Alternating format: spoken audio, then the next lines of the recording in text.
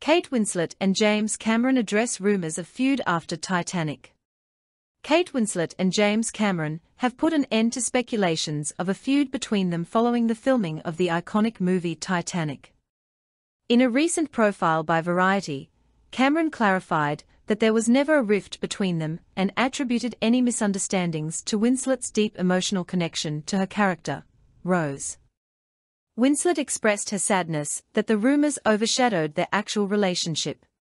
However, past interviews revealed some tensions between the two during the production of Titanic. This article critically analyzes Cameron and Winslet's statements, provides additional context, and offers a critique where appropriate. Despite Cameron's assertion that there was no rift, past interviews with Winslet tell a different story.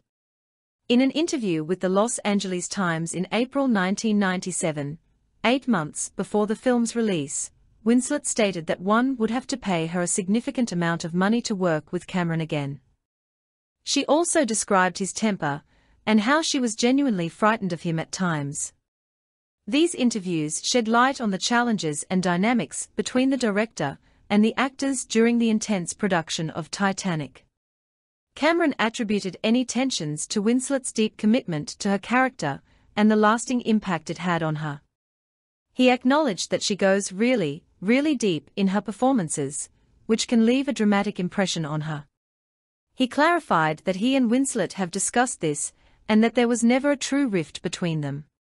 Cameron emphasized the strong working relationship they have, as he is currently working with Winslet on the next installment of Avatar. Winslet expressed her sadness that the speculative rumors overshadowed her actual relationship with Cameron.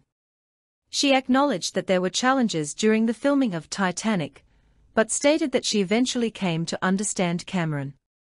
She affirmed her commitment to working with him again, describing herself as up for any challenge or direction he gives her. Winslet's willingness to work with Cameron again demonstrates their ability to overcome past difficulties and maintain a professional relationship. While Cameron and Winslet's recent statements attempt to dispel rumors of a feud, it is essential to acknowledge the validity of Winslet's previous interviews.